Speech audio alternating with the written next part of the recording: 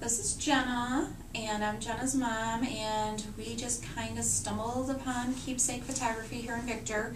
And um, I was so impressed coming into the studio, meeting everybody, and how they display everything. And I met the whole staff, they're wonderful. We just had a model session, and the photographer Bob was awesome. He has a great personality, works really great with the kids. Made Jenna, who's very shy, feel really comfortable. Got her to crack a smile and talk.